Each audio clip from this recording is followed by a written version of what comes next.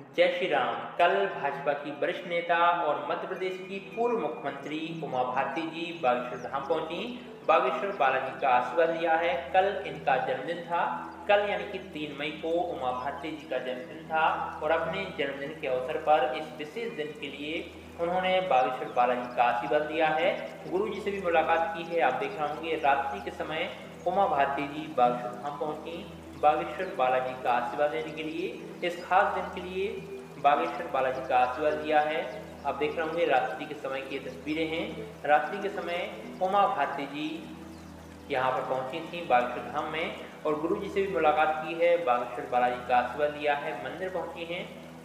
कल इनके लिए विशेष दिन था, जन्मदिन था और अपने जन्मदिन के अवसर पर रात्रि के समय ये बागेश्वर धाम में पहुँची हैं। रात्रि के समय की तस्वीरें हैं। आज से भोपाल में बागेश्वर सरकार की कथा भी प्रारंभ हुई है। तो बागेश्वर सरकार रात्रि में ही भोपाल के लिए रवाना शायद हो चुके हैं। अभी कोई पक्की खबर नहीं है।